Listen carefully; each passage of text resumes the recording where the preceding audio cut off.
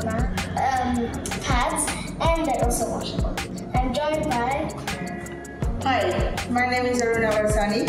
I'm a founder of Together for Better and I also have a team who is with me today. Ellyanne has joined me and then I have Evelyn who is with me, who is my pillar in my team, who is a beneficiary from this project, who is teaching our pads. Hi everybody, my name is Evelyn Atieno. I'm the tailor who makes this vest.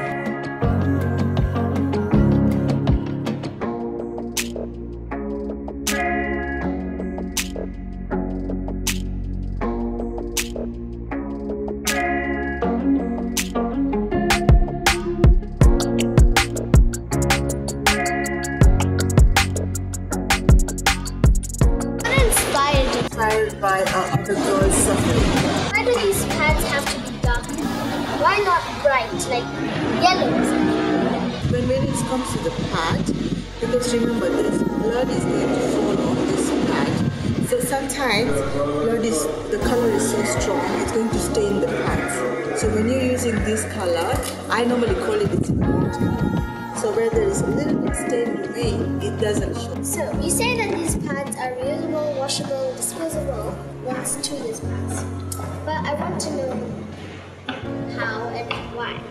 When I say this pad is environmental friendly, there are two reasons which I like to point it out. When you fill the pads, can you feel this one? Can you crush it? Do You hear it?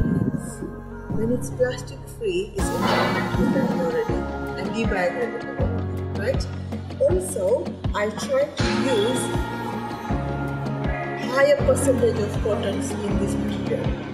So it's not always 100% because that's sometimes impossible to get those materials. But I try to go to closer to the percentage as high as much as I can or I can manage it. So those are the two key reasons why these are environmentally friendly. Um, will you be able to show the girls how to wear it and um, how to put it here? It's very easy, easy how to wear this. But I like to show you because this is slightly different than the normal part. So you're going to open this flap. Yeah? And can you see the middle part of pencil? You're going to place it like this. Okay? Now you place the pad inside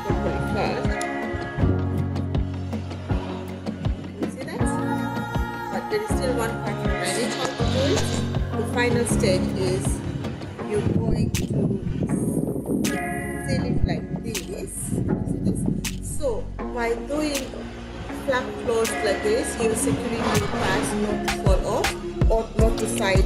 It's not to move around on the side. So this is how you're going to wear a pad. Now, let me show you some more things. Let's say you are in school your pad is dirty. Install this pad, right? So it's the same method. You're going to remove it. You bring it out. Yeah.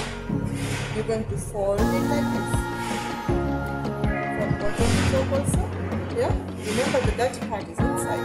So you're securing the blood not to touch any other object or around it or won't go to spoil your bag and then you can seal it like this so you have sealed the dirty part totally inside and this is a safe bag to carry around anywhere before you reach home and it's not going to dirty or stain any of your clothes or your bag or your couch. This is how you store a dirty pad after using it. When it's dirty, you put it like this, you put it in your bag, and you get home and you wash it.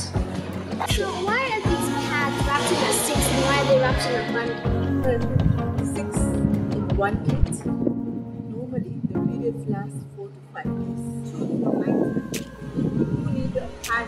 Night also change and four is the. Okay? Let's say a girl has more than a six day period, then definitely the first day when she uses the pad, she's going to dry and it will be this for six days. That's why we say it's recycle and reusable. Okay? But now there's a small demo which I try to put in every tip here. Sometimes the language is very you. So when you when you show them the picture, they understand sometimes better.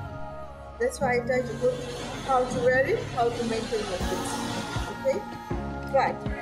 Another thing is how you're going to store these pads. Remember, sometimes you're not comfortable carrying the pants around like this. This is the pouch, which is upcycled material. Okay? And it can be also reusable because it's a cloth mat. It's no plastic inside. So you're going to store it inside this and then this is how you do it.